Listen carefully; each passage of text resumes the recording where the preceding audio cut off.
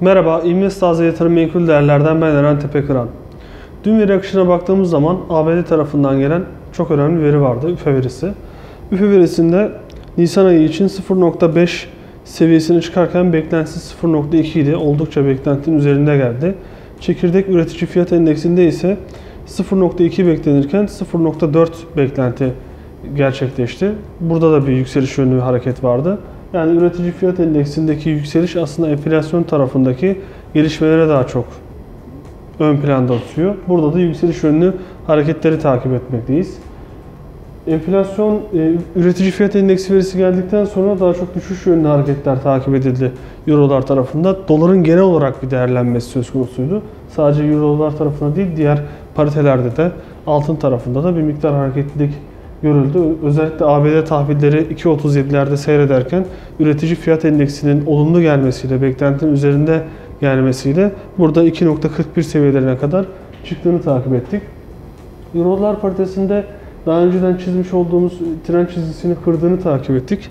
Şimdi tekrardan bir ufak hareket daha e, yukarı doğru düzeltme hareketi gerçekleştirebilir e, varsayarken 0.9 seviyesine, önemli seviyemize burada tekrardan bunu kırarak aşağı yönlü bir hareket gösterdi. 1.09'un altında kaldığı sürece aşağı yönlü baskılar devam edebilir. Çünkü hareketli ortalamaları kesişme yönünde şu anda takip ediliyor. Burada 50 günlük hareketli ortalamanın 100 günlüğün altına geçmesi söz konusu olabilir. 0.9 seviyesinin altında kalıcılık sağlarsa sağlamaya devam ettiği sürece. O yüzden aşağı yönlü baskı şu anda takip ediliyor. Aşağıda 1.0860, 1.0840 ve buranın da kırılmasıyla birlikte 1.0820'lere kadar geri çekilme söz konusu olabilir. Tekrardan yukarı doğru çık çıkma eğilimini gördüğümüz zaman ise 0.9 seviyesinin üzerinde 1.0950 ardından da 1.1020 seviyeleri direnç seviyeleri olarak takip edilebilir. TL tarafına geçtiğimiz zaman TL tarafında önemli veriler vardı. Özellikle TL'de cari açık verisi takip edildi Türkiye tarafından. Cari açık seviyesinin düştüğü görüldü. Cari açıkta 66 Mart ayına bir önceki yılın Mart ayına göre 66 milyon dolar azalarak 3.57 milyon dolar olarak gerçekleşti. Burada bir düşüş yaşandı. Ancak ihracat tarafında e, Türkiye ihracat birimi değer endeksinde ise Mart ayında bir önceki yılın aynı ayına göre 0.9 azalırken ithalat birim değer endeksi Mart ayında bir önceki yılın aynı ayına göre %6.7 artış gösterdi. Tabi bu veriler çok fazla etkilemedi.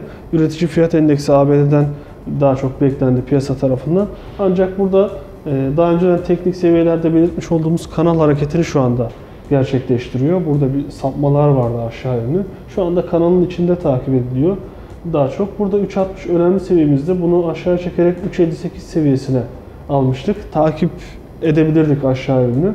Şu anda ancak 3.58 seviyesinin üzerinde kalıcılık sağlarsa kanal hareketinde yükseliş yönlü hareketler takip edilebilir. Özellikle ABD verileri olumlu gelmeye devam ederse burada yükseliş yönlü hareketler devam edebilir. Yukarıda yine 3.60 seviyesi ardından kırılmasıyla birlikte 3.61.60, 3.62.50 seviyesi takip edilebilir. Düşüşlerde ise 3.58 seviyesi bunun da kırılmasıyla birlikte 3.57 ve ardından 3.55-50 seviyelerine kadar destek seviyeleri takip edilebilir.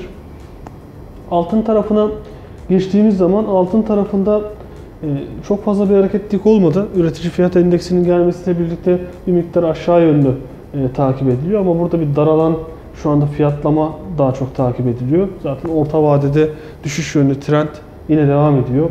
100 günlük hareketli ortalamanın 50 günlük hareketli ortalamanın kesişmesi aşağı doğru kesmesiyle birlikte aşağı yönlü şu anda takip ediliyor.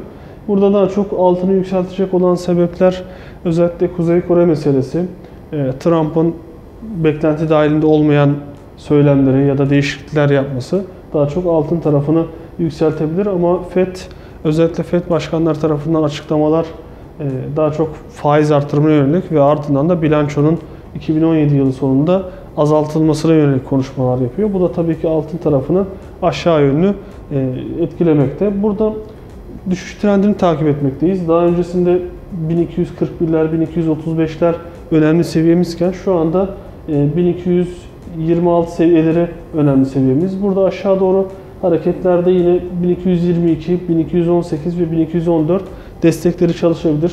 Yükseliş yönlü hareketlerde ise 1226 üzerinde fiyatlama gördüğümüz zaman 1235, 1241 ve ardından 1250 seviyeleri direnç noktası olarak çalışabilir. Investazı Yatırım Menkul Değerler iyi yatırımlar diler.